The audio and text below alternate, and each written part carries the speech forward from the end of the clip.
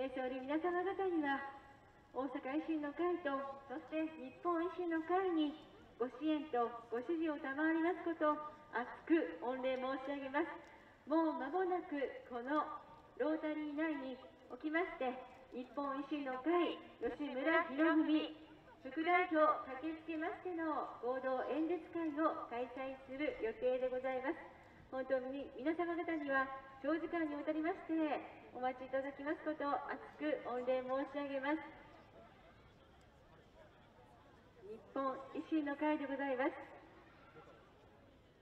本日は奥下武光衆議院議員候補予定者とともに日本維新の会吉村博文副代表合わせましての合同演説会をこちら南千里駅前ロータリーにて開催する予定でございます。非常にたくさんの方々にお集まりいただいております。ありがとうございます。どうか皆様できるだけソーシャルディスタンスの確保コロナ感染対策のご協力のほどよろしくお願い申し上げます。日本維新の会どうか最終最後までお支えいただきますように心からのお願いでございます。ありがとうございます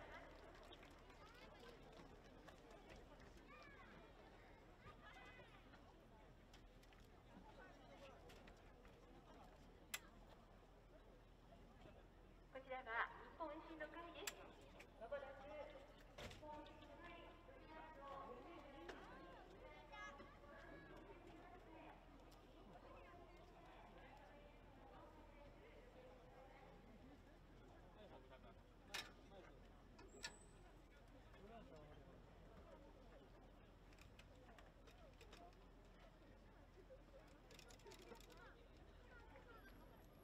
これがあるから、僕こっちの方がいいんじゃない見に行こう上の人危ない。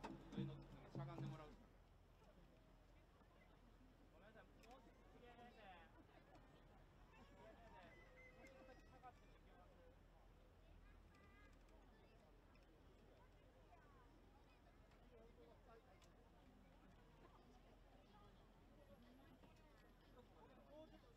やああれがあるからちょっと見にくいから上がる。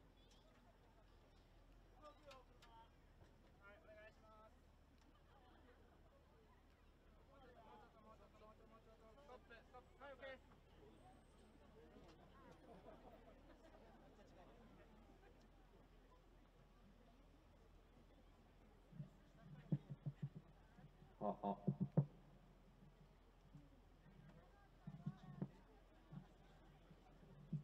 えー皆様、本日はお集まりいただきありがとうございます。えー日本維新の会街頭演説会、まもなく開始をさせていただきます。えー本日は、この大阪第7選挙区支部長の奥下武光、そして、えー吉村博文副代表揃って、この場からお伝えさせていただきますので、まあコロナ禍でもありますので、皆さん、マスクと、ちょっとなかなか密というのは、あのソーシャルディスタンス難しいんですけども、そこはご協力いただけ、可能な限りご協力をお願いいたします。まあ、早速ですけれども、日本維新の会、このご当地第7選挙区支部長であります、奥下、えー武光からですね、皆様にお訴えをさせていただきたいと思います。えー奥下支部長、橋本代表の秘書として、ずっとこの大阪の改革支えてきた、人物であります。この奥下支部長、今度、この大阪第7選挙区、ついた節から挑戦をさせていただきますので、ぜひこの改革にかける吉村さんと一緒に大阪から、え日本の改革を進めていくんだという思いをぜひお聞きいただければと思っております。では早速ですけども、奥下武光第7選挙区支部長から皆様にお訴えをさせていただきます。どうかご清聴よろしくお願いいたします。えー皆さん、こんにちは。ただいまご紹介いただきました、えー7区の支部長、奥下武光でございます。本当に土曜日の夕暮れ時、集まりにくい時間にこのように多くの方にお集まりいただきまして、ありがとうございます。えーもうすぐですね、吉村副代表やってまいりますので、えーもう少しだけお付き合いください。えー先日、皆さんがご存知のように、岸田内閣誕生しました。自民党は今回、選挙のために表紙を変えてきましたが、まあ、それは他党のことだから、別に僕は何も言うつもりはないんですけども、ただ、政権与党・自民党、やっぱりですね、今回のことをきっかけに変わっていただきたかったんです。橋本徹の秘書をする前は、えー元内閣総理大臣、宮沢喜一の秘書をしておりました。ですから、自民党のこともよく分かっているつもりです。自民党、あまりにもしがらみが多すぎるんです。今回の選挙でもそうです。いろんな団体にお願いする。そして、その見返りとして選挙が終わったら、補助金という形で応援していただいた企業、団体に補助金を出していく。これら全部皆さんの税金です。本当にこういったね、まあ、のお金をこ循環させるというか、まあ、言葉が適切かどうか分かりませんけども、本当に自民党はこういったことに長けています。ずっと自民党で宮沢の秘書をしているときに、まあ、こういったね、仕組みについてずっと疑問に思っていました。そして宮沢が引退して大阪に帰ってきて、橋本徹という人に出会ったときに、やっぱりあの時僕が感じてた違和感、間違いじゃなかったんだなと思いました。本当に当たり前のことを当たり前のようにできない今の政治、本当に永田町霞が関で行われている政治は我々の非常識です。我々の常識を政治の常識に変えていきたい。我々はその思いで大阪維新の会、日本維新の会を立ち上げてきました。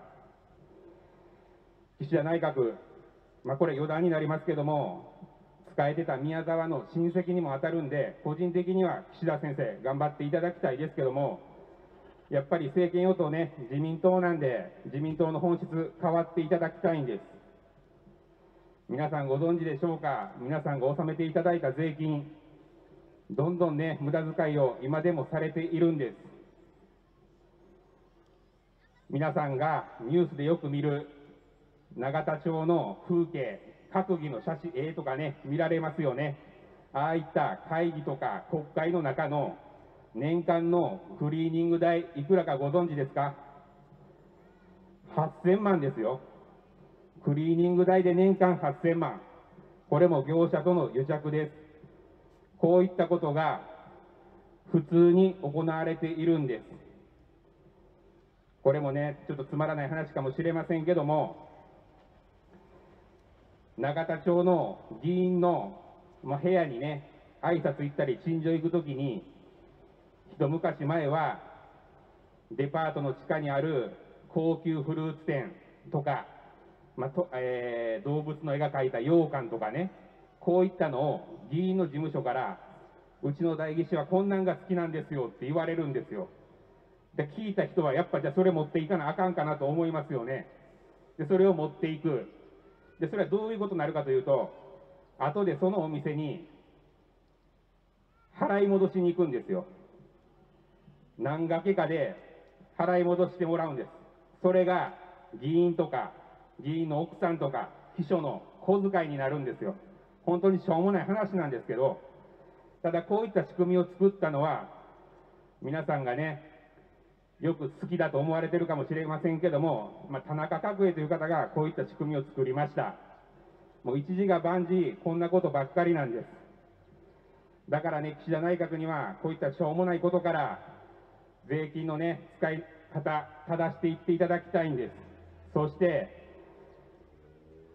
永田町だけじゃなくて、霞が関、いろんな省庁ありますけども、各省庁にも既得権益ございます。ここが最終を邪魔してくるんです。昨日、岸田さんは、岸田さんは、えー所信表明の時に、分配という言葉をよく使われていました。確かにこれ分配は大事です。しかしどうやって分配するかということが全く触れられていませんでした。分配をするには、やっぱり構造改革が必要なんです。行財政改革ですね。で今言ったようないろんなしがらみの中で自民党に果たして改革ができるのか、難しいです。皆さん、橋本徹がいた時代、覚えてらっしゃいますでしょうか？橋本、松井、菅、ま安倍、菅、この4人でね、年末、まあ、忘年会みたいなことをしているという報道があったと思いますけども、あの中で話し合われてた内容の一つが、安倍さんはアベノミクスをもっと進めたい。しかし自民党は、属議員、各省庁から意向を受けた、各団体から意向を受けた議員、参議院に特に多いですけども、そういった属議員が邪魔をするんで、自民党では改革を進めるのに限界がある。だからね、日本維新の会さん、行革案をどんどん自民党にぶつけてきてください。それを精査して日本の改革進めていきましょうということが話し合われた内容の一つです。安倍さんとか菅さん自身がね、やっぱり自民党では改革することに限界を感じていた。本当にね、まあ、一時が万事とは言いませんけども、大体こんなことがね、普通に行われてきたのが、今までの政治。こんなことを聞いていたら、本当に政治に嫌気がさして、皆さんが政治離れになる気持ちよくわかりますけども、やっぱりね、主権は憲法に定められているように、皆様が主役です。政治は皆さんの納税なくして実践できません。選挙は皆さんの一票なくして成立しません。やっぱり皆さんが主役なんです。その主役の皆さんが政治に興味を失い、政治から離れていく、これは本当に今の既存の政党が喜ぶだけです。ですからね、今回4年ぶりに行われます国政選挙、皆さんには高いご関心をお寄せいただき、投票という行動で皆様のお考えを示していただきたいんです。大阪維新の会、日本維新の会が決闘以来言っております、身を切る改革、これはもう選挙のために聞かれて、皆さんね、聞き飽きたって言われ言われるかもしれませんけども、けどこれはね、維新の会のメンバーもそうですし、長年応援していただいている方もね、ちょっと勘違いされているところがあるんですけども、これは橋本徹がはじめ、自分の高すぎる給料をカットして、退職金をゼロにしました。これがね、やった時に初めニュースでバンバン取り上げられて、その時に僕秘書でしたから、自民党の国会議員の先生呼び出されて、橋本、たかがカットした金額知れてんのに、何偉そうに言うとんねんというお叱りを受けたことがあります。その時僕ね、さすがに言わせていただきました。いや、違うんですと。全体の予算の中では、微々たるもんかもしれませんけども、その先にある行財政改革をするものとしてね、覚悟を示す必要がある。そういった意味合いで橋本は身を切る改革っていうことを実践したんです。まあ、結果としてね、給料が下がって人数が減る行財政改革にはつながるんですけども、これはいわば政治家の意識改革ってことなんです。こういったことを一人一人改革していかないと、この日本、変わることができません。お待たせしました。皆様、吉村副代表やってまいりましたので、ここで吉村代表、副代表にマイクを代わらせていただきます。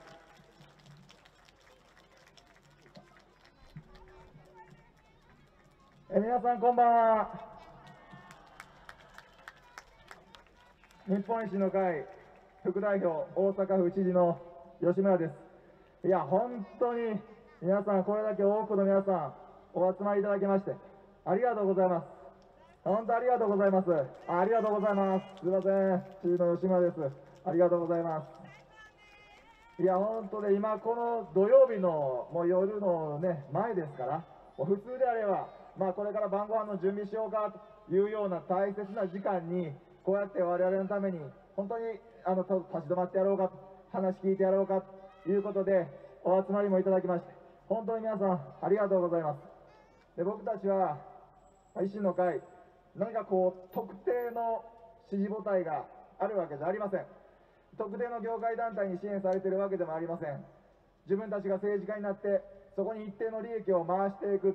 見返りにその選挙を応援してもらうそういった古い政治をやっていません普通だったらまあほとんど無視されるわけですけども、まあ、そういった中でこうやって皆さんに応援をいただいていること本当に感謝を申し上げます大阪の改革もなんとか前へ進めていけるこれも皆さんに応援していただいているおかげです。本当に皆さんありがとうございます。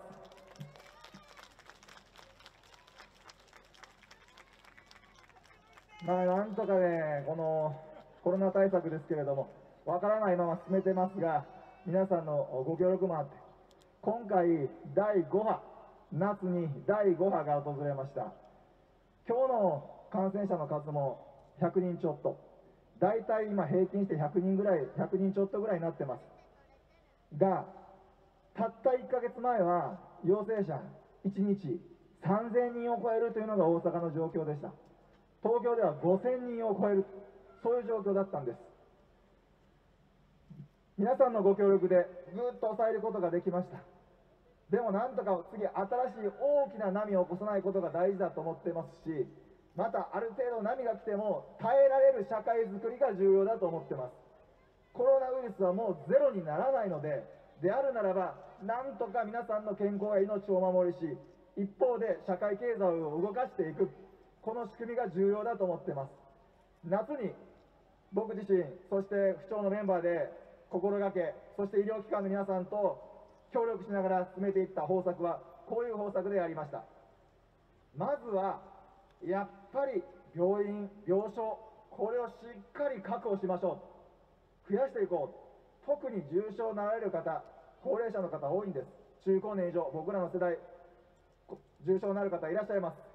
それから、基礎疾患、病気をお持ちの方、タバコを吸われる方、ちょっと太り目の方、妊娠後期の方、大体重症化するかあの層というのは見えてます。だから、我々が第5波、夏に向けてやったこと、これをやって、なんとか救急車が行き場所がなくなるというのは防げました、大阪においては。何をしたかというと、まず徹底的に重症病床を増やしたんです。春の時は220床ぐらいだった重症病床、簡単には増やせません。でもこれが今は605床、夏で、夏までに、第5波までに3倍ぐらいに増やしました。それから、普通の病コロナの軽症の中等症の病床、1700床ぐらいでしたが、今は2800床ぐらいです。ホテル、軽症の方にはホテルに入っていただいて、看護師さんも見てもらいます。ホテルが2400室ぐらいでしたが、今は8400室です。圧倒的になんとかこの病床を増やしていって、土台を固めた。で、今は、さらにどういう波が来るかわかんないから、野戦病院みたいなのも作ろうというので、あのインテックスっていうどでかい国際会議場、これは国際展示場、G20 の大阪サミットであのトランプさんが来たところですけども、あそこの大会場を使って、1000床単位の臨時の施設を作ろうというので今進めてます。これもなかなか大変なんです。それはだってゼロからですから、ベッドを並べても医療の従事者がいなければ始まりません。これできるの？こんなのできないでしょ？まあ言われました。だからどこでもなかなかやらないんです。でも、いざという時に備えてやろう。できない理由言い出したらきりません、きりありませんから、じゃあできる理由を考えようというので、医療従事者の皆さんと協力しながら今やってます。まあこれは10月末完成します。医療従事者の皆さんもなんとか確保できそうです。また正式にできれば皆さんにご報告します。圧倒的にできるだけ、まあ、どんな波が来るか分かりませんから、確実っていうのはありませんが、まずは土台を固めていく、病床を確保していく、これを重視しながら、この夏にやったこと、もう一つ大切なことをやったんです。何か、第4波、春の時、本当に厳しい状況になりました。その経験から、この病気は早期に治療したら、多くの方が重症化しません。それが分かったんです。重症化してから介入すると、本当に入院期間も長くなるし、大変な思いをされる、後遺症になる方も出てくる。できるだけ早い段階で介入したら、これはほとんど重症化しない。これが分かったんです。だから、夏にやったのは、軽症の方もどんどんどんどん病院に入院してもらって、できるだけ早く治療し、早く退院してもらう。この回転率を上げていったんです。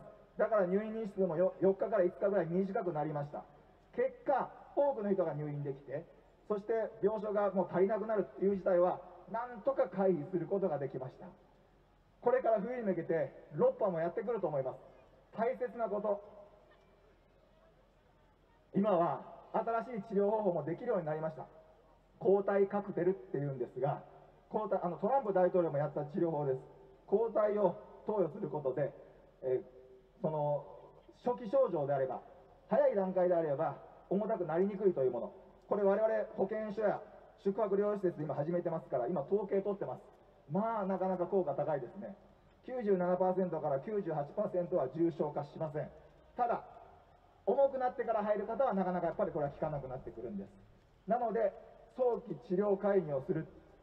今病院でこれやってますが僕が目指す方向性これは大阪が目指すべき方向性だと思いますがこれからはこういった抗体カクテル療法これを近くの病院外来や往診でできるようにする。これで僕は大きく変わると思ってます。今は入院施設でやってますがほとんど。できるだけ近い病院皆さんが身近に知ってるような病院でもし陽性になった時はそこで治療を早期に受けられるようにする。これが非常に重要だと思ってます。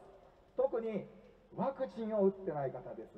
で僕はワクチンを受けました。皆さんもワクチン打たれてる方も多いと思います。打たれてない方もいらっしゃると思います、まあ、これは自由個人の自由ではありますがこのワクチンってやっぱかなり効果は高いです。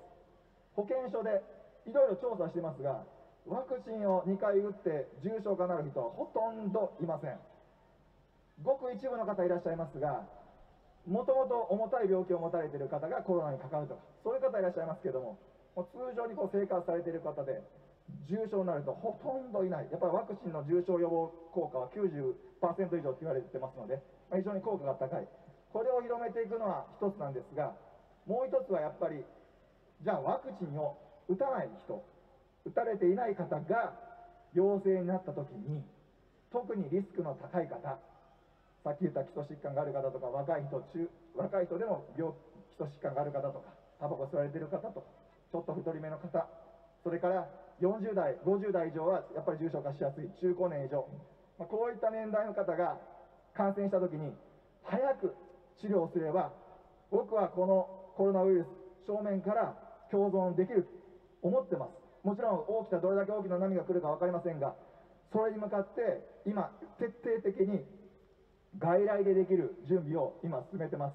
これから冬に向かって第6波が来ると思いますがなんとか乗り越えていきたいと思います。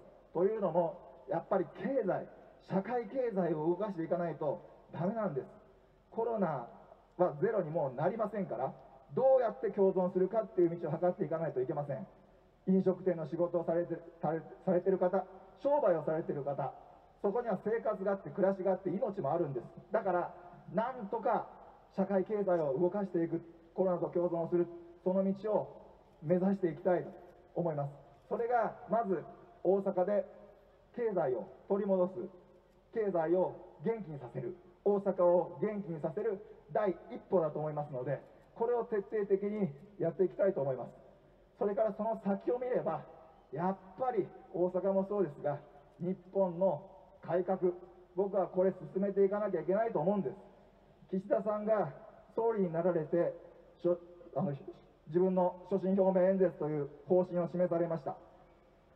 僕は本当これ残念だなと思うのが過去この40年50年見た時にずっと言われてきた言葉が使われなくなりました。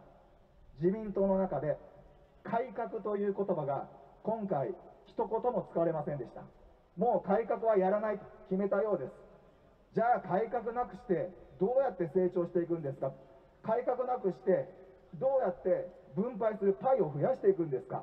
借金ですか？増税ですか？最後それ誰が負担するんですか？維新の会でやってきたこと増税もしてません。逆に借金は減らしていってます。5兆円ぐらい大阪市も借金あったんです。それは橋本さん。で橋本さんの近くにおられた奥下さん秘書でやられてました。で橋本さんが大阪市長をしそして僕自身が大阪市長をやりましたが今松井さんがやってます。5兆円ぐらいあった借金が今は3兆6000億円。1兆4000億円ぐらいまでガーッと減らしたんです。改革やって財源を生み出して借金を減らしました。なんでか借金を増やすということは子供たち孫たちに背負わせるということなんです。借金を。一言で言うと。今目の前に小学生ぐらいのお子さんいらっしゃいますけどこの小学生ぐらいのお子さんに借金背負わせるそういう政治をやるということなんです。こんなんおかしいでしょ子供たちに借金背負わせてどうするの？子供たちが背負うのはランドセルなんです。子供たちが背負うのは教科書。借金を大人が背負わせてどうするの？だから徹底的に減らしてきたんです。国でもこれやってもらいたい。改革で財源を生み出して借金を減らす。赤字体質。大阪府も赤字体質だったんです。大阪府の橋本さんが知事になるまで10年間ずっと赤字でした。大赤字でした。大阪府の財政。赤字だけじゃありません。でそれは橋本さんになってからその後ずっと黒字です。松井さんの時も僕の時代も今黒字でやってます。黒字経営。その前はずっと赤字。赤字だけじゃありません。借金を返すための貯金。ここに大穴が開いてたんですよ。大穴が。その金額なんと5600億円。めちゃくちゃです。5600円も億円もの借金を返すための貯金に手突っ込んで別のことに使ってたんです。当時の知事さんもう名前はもう腹立つから言えませんけどね。太田さんむちゃくちゃですよこんなの。腹立ってしょうがない。なんで腹立ってしょうがないかっていうと今でも穴埋めをしてるんです。5600億円の穴。橋本さん松井さんでずっと埋めて今僕が知事になっても今毎年300億円ぐらい穴埋めしてるんです。ただこれを一生懸命やってきたおかげであと2年ぐらいでこの穴埋めは終わります。全部穴埋め終わって解消するんです。ここまでやってきました。まあこれは本当に道筋を橋本さん作ってもらって松井さんと今僕がやってますがこれなかなか見えないとこなんですけどこれをすることでまあ子供たち孫たち次の世代がまあ偉い目に遭うというのを防ぐことができてます。見えないんですけどこういうこともやっていかなきゃ。岸田さんがおっしゃる分配非常に重要。可処分所得を増やすお給料を増やす。それはぜひ僕もやんなきゃいけない。そう思います。でどうやってやるんですか？分配の財源は根元は何なんですか？ここに触れないんです。ここがなんか曖昧になっちゃってるんです。一時的に借金でやるんですか？そのやり方ずっと持ちますか？その借金最後誰が負担するんですか？今僕らが負担しなくてそれでラッキーかもしれませんがじゃあそれ次の世代が負担することになってくる。まあこんな無責任な政治はやめてもらいたいですね。じゃあどうするか。やっぱり成長させなきゃいけないんです。成長させるためには何が必要か。改革です。新しい人が新しい企業が新しいことにチャレンジできる。この仕組みをどんどん作っていかなきゃいけません。民間でできることは民間に創意工夫でやってもらう。これをやらなきゃいけません。民間が活躍できる場をどんどん作っていく。これをやらなきゃいけません。例えば公園一つとってもそうです。公園。あの大阪城公園ちょっとこう南に下っていってもらったら分かるんですがまあ昔の大阪城公園ってもうねなんか夜になったらなかなか入りにくい公園ね子供と女性で入ろうそういう思えるような公園じゃなかったんです大阪城公園。でも今はどうなったか非常にきれいに整備もされておしゃれなカフェなんかもできてます。民間が運営してるんです。それまで役所が税金使ってやってました。7000万円使って皆さんの税金使ってやってましたが今は逆にその民間に運営してそしてきれいになって多くの人が夜もランニングしジョギングするようなそういった公園になって逆に1億円以上もらってるんです。その1億円で医療や教育福祉これもやってます。新たな雇用なんかも生まれてるんです。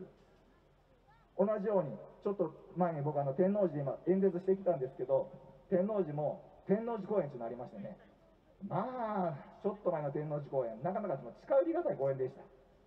でも今は綺麗な芝生になってます。多くの人が楽しむ公園になりました。これも今民間が運営してます。近鉄がやってます。お金は近鉄が持ってるんです。いざという時はもちろん我々が使えますよ。活性化してます。人が多く集まります。消費が増えます。経済が生まれてくるんです。地下鉄ちょっとそこに走ってると思いますけど御堂筋線あの北半球とあの交差しますけれどもあれちょっと伸びますけどねあれも非常にあの伸びるのは大切だと思います。あの御堂筋線だって地下鉄だってちょっと前までは、まあ、役所経営でどうだったかというとトイレ汚かった。トイレ思い出してくださいあの昔の市営地下鉄のトイレ。入るのも我慢するようなトイレだって。僕も子供の時ね我慢してましたよ。行けないって言って。トイレを我慢するトイレってどんなトイレなんだと思います？それを民営化していこうということで橋本さんの時代に始まりました。橋本さんの時代に民営化まではできませんでしたがその前段階として民間の社長に経営をしてもらうようになりました。最初に言ったことはいやーこれトイレをもっときれいにしないとおもてなしの精神全然ないやんか。今トイレがすごくきれいになっていってます。それから僕の時代に何とか民営化をして大阪メトロと生まれ変わりました。今の梅田もそうですけどもだんどんどん中津もそうですがどんどんどんどん駅駅舎内がきれいに変わっていってます。2025年の大阪万博までには御堂筋はものすごくきれいな地下構内になります。いろんな買い物もできるような施設もどんどん生まれてきます。民間になったらいろんなアイデアが生まれてくるんです。そこで新たな雇用も生まれます。それだけじゃありません。民間になることで税を納めてもらうことになるんです。その税を納めてもらったもので医療教育福祉これも増やすことができます。民間に活躍の場新たなことにチャレンジできる規制改革これが僕は成長に必要だと思います。もちろん本当にお支えをしなきゃいけない人をどんどん支える当たり前です。これもやっていきますが前提としての成長これを諦めたらどんどんどんどん内向きになってしまいます。最後はそれこそ弱い人の方にその負担が押しかかってくるんです。次の世代であったり声を上げれない人たちの方に負担が押しかかってくるんです。だからそういったのはやめようよ。特定の既得権が美味しい思いをするんじゃなくて改革で成長できる仕組みを作っていこう。これが維新の会の基本的な考え方です。財源を生み出すことでいろんなこともできました。高校の無償化というのもできたんです。私学の無償化大阪ではこれはいち早くやりました。ありがとう。私学の無償化ねなってるからねもうちょっと大きくなったら私学もいけるよ。で僕らの時はね行けなかったんです。僕の時代っていうのはやっぱり私学っていうのはお金持ちが行くんだろうというような発想だったんです。僕も裕福な家じゃありませんでした。だからずっと僕は公立です。私学の選択肢はありませんでした。もちろん学校はあります。でも今は今の大阪の子どもたちは行きたいと思えば私学も行けるようになってるんです。高校。それから幼児教育の無償化。これは僕が市長の時にやりました。子どもたちの18歳までの医療費の無償化というのもやった。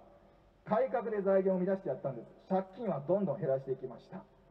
それだけじゃありません。知事になってからやっぱり大学もなんとかしたいっちゅうんで大阪の一律大学と府立大学これ一つに合わさって超巨大な素晴らしい大学がこれ出来上がりますがここは大阪の子どもたちは実質無償で行けるようにしました。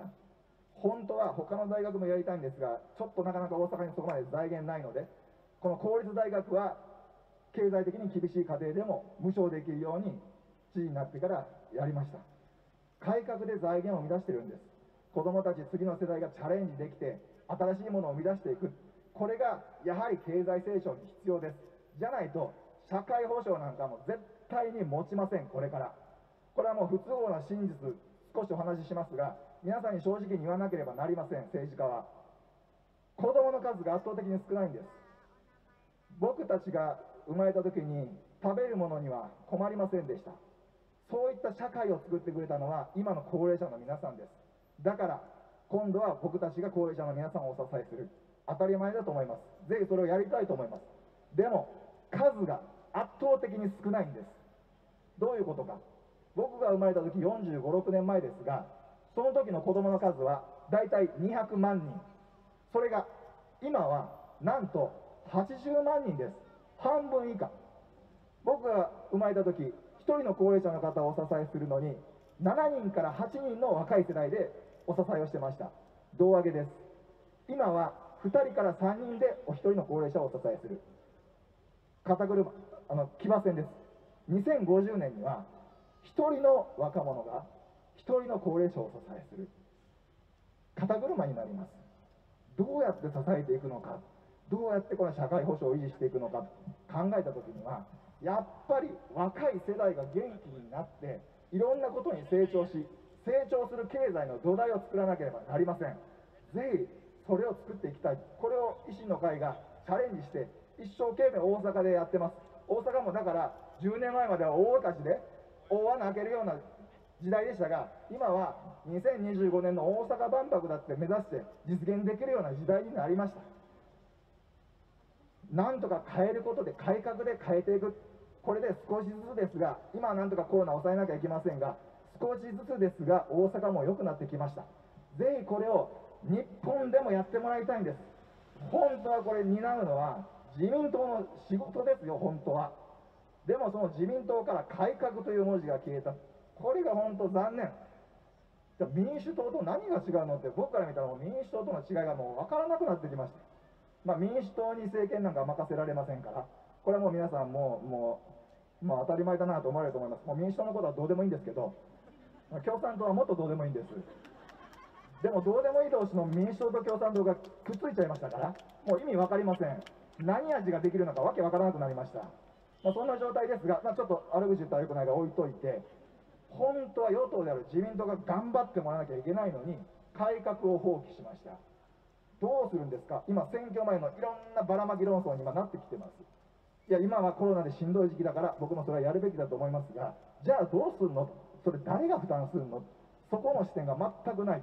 これは最後、もう一回言いますが、ここを曖昧にしたら、最後そのツケは弱い人に回ってきます。子供たち、孫たち、声上げれない世代に回ってきます。そんな無責任な政治は真っ平ごめんです。ぜひ、改革する政党を送り出してもらいたいんです。維新の会は特定の業界団体から支援を受けてませんから、だからこそできる改革があるんです。それをやってきました。それが証拠に、この後選挙になって、皆さん一回、あの選挙事務所行ってみてください。まず自民党の人の選挙事務所行ってみてください。部屋の周りを見渡してみてください。ポスターだらけ。ほにゃらら協会、ほにゃらら団体、何々会。まあ、あの、既得権団体のポスターだらけになってますよ。選挙応援してるんです。受かったら、どっちの方向を向きますか？そっち側にお金を回すんです。選挙受からせてもらってるんだから。でも、奥下さんの事務所にも一回、その後行ってみてください。何にもありません。殺風景な事務所ですね。もうあまりにも申し訳ないから、僕や松井さんのポスターの名前書いたやつだけ貼ってますが、何の意味もありません。その程度なんです。でも、だからこそできる改革がある。政治家がぬるま湯に浸かり、自分たちの美味しい身分じゃダメなんです。だから国会議員も報酬3割カットやってる。今、寄付してますし、僕自身も3割削減、そして退職金はゼロです。当たり前なんです。なんで4年間で退職金やんの？退職金があったんですよ。大阪市長も大阪府知事も、全国の知事さんも、全国の市長さんも退職金があるんです。4年で。こんな民間の仕事ありますか？ありません。4年で、その金額、なんと4000万円です。誰が払ってるんですか？払い主は皆さんです。こんなのおかしいやんか。だから対象金はなくしました。まあ、維新の会はこんなことやってるばっかりやってるから、他の政党に嫌われるんです。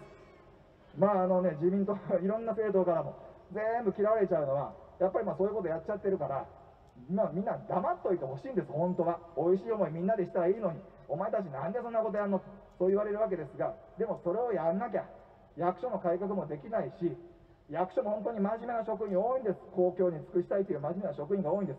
それがどっかで歯車変わっちゃうと、どんどん政治化していくんです。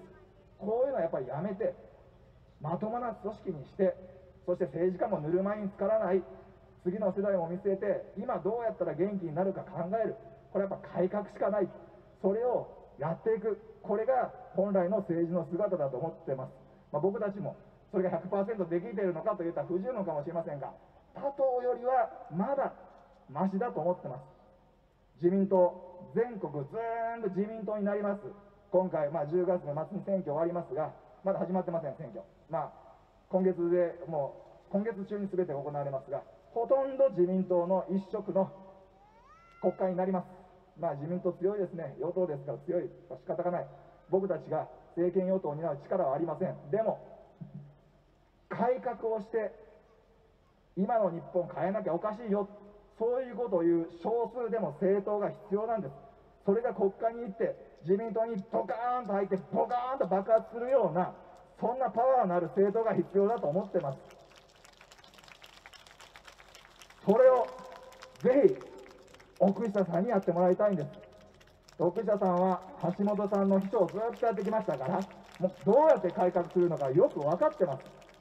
で、僕や松井さんは大阪の政治を一生懸命頑張ります。もっと頑張らなきゃいけないんですで僕応援にこうやって最近来させてもらってるんですけどよく言われるのがお前も頑張れよって言われるんですねいやさ確かにそうやなとお僕も一番頑張らなあかんと思いながらも今なんとかと応援してるんですが大阪の政治は一生懸命松井さんとタッグで一生懸命やっていきます。でも国の政治はやっぱり国会議員しかできないんです。だから少数でも送り出してもらいたい。今日本維新の会はどういう状態かというと大阪ではこうやってご支援いただいてますが全国的に見たら衆議院の数は10人ぐらいしかいないんです。10人ちょっと。も全体では480人ぐらいいますからそのうちの10人ちょっとですからあのはっきり言って絶滅危惧種です。もうレッドリストに載ってます。なんか教科書見たら昔日本維新の会という政党があった以上みたいな。そんな状況になりかねない絶滅危惧種ですがまあでもここでなんとか絶滅させるかどうかはもう皆さんの腹一つです。で僕らはもう支持母体持ってませんから皆さんの応援があるかないかだけでもう本当決まります。で僕らの首はもう皆さんに預けてるんです、まあ、政治家なんてそんなもんです。皆さんに首を預けて仕事ができなければ切ればいいんです。でもここは押してやろうという時はぜひ背中を押してもらいたいと思うんです。なんとか絶滅をさせるんじゃなくて改革という言葉がなくなった自民党からちょっとでも改革を後ろから押していくようなそんな集団をぜひ送り出してもらいたいそして日本の成長子供たち孫たちが日本に生まれてよかったね大阪に生まれてよかったねまあいろんなことやりたいなって上向いてもらえるようなそういう社会を作っていきたいんです。皆さん今回、まあ、今今月の中盤から選挙が始まることになります、まあ僕らあまり力はありませんが大阪の政治は一生懸命やっていきます。でも本当に大切な選挙がいよいよ始まることになります。ぜひ皆さんこの奥下さん橋本さんと一緒にやってきた奥下さんぜひ皆さんで押し上げていただきたいと思いますんでよろしくお願いします。ありがとうございました。でよろしくお願いします。ありがとうございました。ありがとうございます。今あの水泳さんと大阪府議会なんですけど一緒にあのやらせてもらってます。大阪の政治はまあお前も頑張れよって言われる通り一生懸命あの話長くなりましたけど一言でまとめたらあの頑張りますんであの皆さんもあの健康にも気をつけてね特にまああのコロナもありますからあのお一人お一人の感染対策ちょっとした感染対策を取っていただいてなんとか元気な大阪を取り戻していきましょう。よろしくお願いします。ありがとうございました。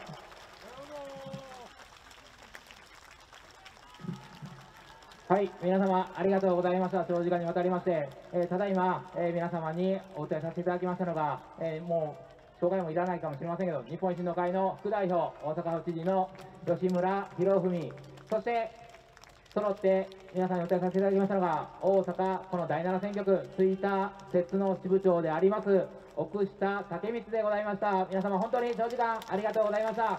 そしてどうか皆さんのご支持、ご支援を日本維新の会、そしてこの大阪第7区、吹田節では奥下武光、奥下武光、よろしくお願いをいたします。